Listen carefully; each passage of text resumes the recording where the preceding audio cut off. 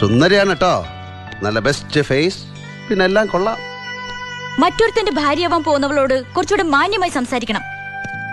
നിന്നോട് ആരെങ്കിലും പറഞ്ഞോടി? മറ്റൊരുത്തിന്റെ ഭാര്യയാവാൻ പോവാൻ?